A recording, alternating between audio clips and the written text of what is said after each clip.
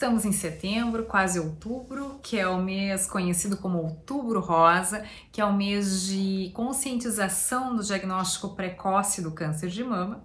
E eu vim aqui hoje falar com vocês um pouco sobre a associação entre câncer de mama e doenças do fígado, entre doenças hepáticas. Então, qual é essa associação?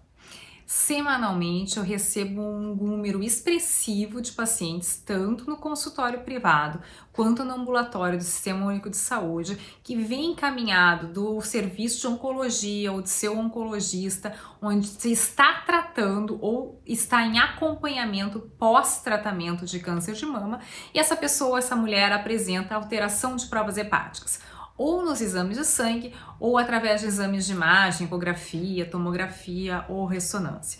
Em geral, essa alteração está associada à esteatose, que é a gordura do fígado. Isso se viu já há bastante tempo que tem uma associação entre doença hepática gordurosa não alcoólica e câncer de mama.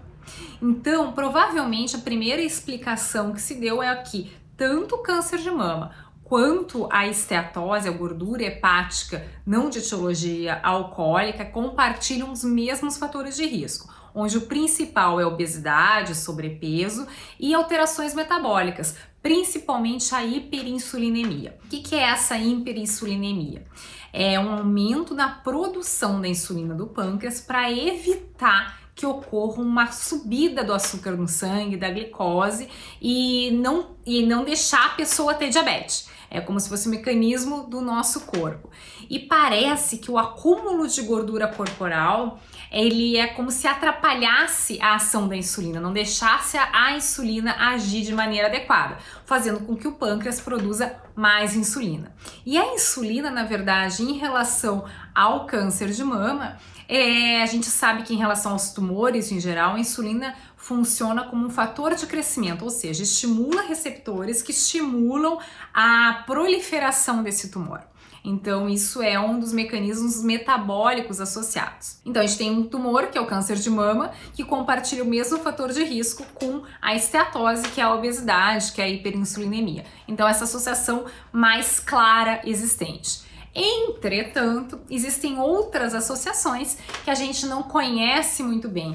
É, recentemente eu li um artigo coreano, mas existem outros artigos publicados também. Nesse artigo específico que foi publicado em 2019, é, eles uh, estudaram, cientistas estudaram em torno de mais de 250 pacientes é, em que mostraram uma associação entre o câncer de mama e pacientes com esteatose, doença hepática gordurosa, mesmo não obesas. E parece que essa associação é muito mais forte nas não obesas do que nas obesas, se a gente é, controlar para os fatores de risco associados ou em conjunto.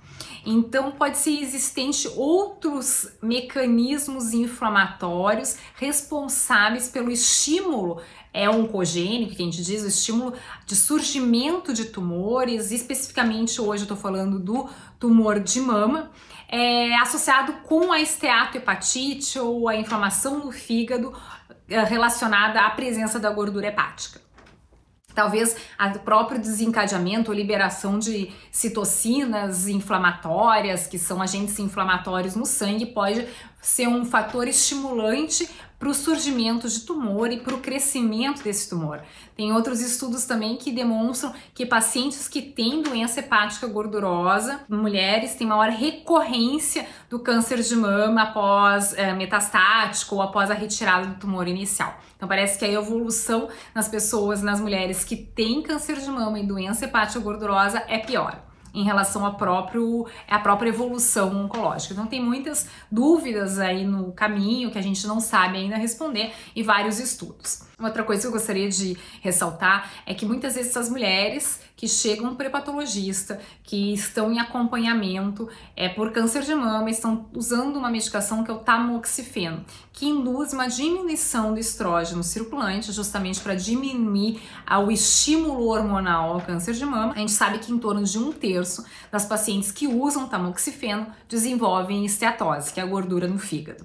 E também está associado ao desenvolvimento até de cirrose, que é, é um fígado todo cicatrizado, que é a evolução final final, digamos assim, de uma gordura hepática com inflamação, que é a esteatohepatite. Então tem todos esses fatores associados entre câncer de mama e gordura no fígado, entre doença hepática, que é primeiro que elas compartilham os mesmos fatores de risco. Segundo, é a própria gordura hepática causando inflamação sistêmica pode ser um estímulo para o surgimento de tumores, incluindo o câncer de mama.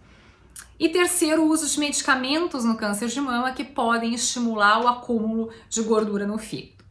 Qual é o recado principal? Então, quem tem câncer de mama tem que monitorizar o seu fígado, tem que cuidar dessa saúde do fígado também. Claro que quando se tem um diagnóstico de câncer, de neoplasia, a pessoa foca muito no tratamento oncológico em si, na cirurgia, na radioterapia, na quimioterapia, mas também tem que cuidar os outros, as outros fatores associados. Então a gente sempre fala que as pessoas com câncer de mama elas têm que fazer atividade física, têm que controlar o peso, têm que fazer dieta. É muito comum quando a pessoa tem um diagnóstico de câncer dizer não, agora eu vou aproveitar, não quer, já que eu posso morrer, porque tem ainda essa associação muito forte entre um diagnóstico oncológico de câncer e morte e comem de forma inadequada, não fazem atividade física e acabam exacerbando outras doenças não necessariamente uh, relacionadas à neoplasia. Então tem que cuidar isso e muitas vezes a causa do óbito vai ser outra, vai ser cardiovascular, vai ser relacionada à doença hepática e não ao problema oncológico. Então o recado é, quem tem câncer de mama, as mulheres têm câncer de mama, faça atividade física, cuidem da dieta, evitem o uso de bebida alcoólica, monitorizem as enzimas hepáticas e, se der alterados, procurem um hepatologista. Por outro lado, as mulheres com diagnóstico de estetose têm que ficar mais atenta ainda à detecção precoce de nódulos mamários fazer o autoexame, realizar mamografia anual conforme a orientação do seu ginecologista, do seu mastologista.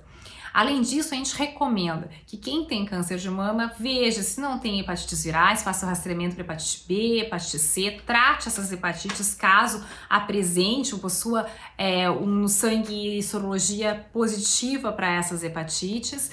É, evite também, o, o, além do consumo de bebida alcoólica, o tabagismo, o cigarro, que seria outro fator de risco também para piora tanto da doença hepática quanto da doença oncológica. Uh, como resumo geral, e a gente cai sempre nisso, mantenha hábitos saudáveis de vida. Esse é o recado que eu queria dar para vocês hoje. Espero que tenham aproveitado e, e aguardo também dicas de novos assuntos para falar aqui no podcast, no canal do YouTube, nos vídeos. Grande beijo.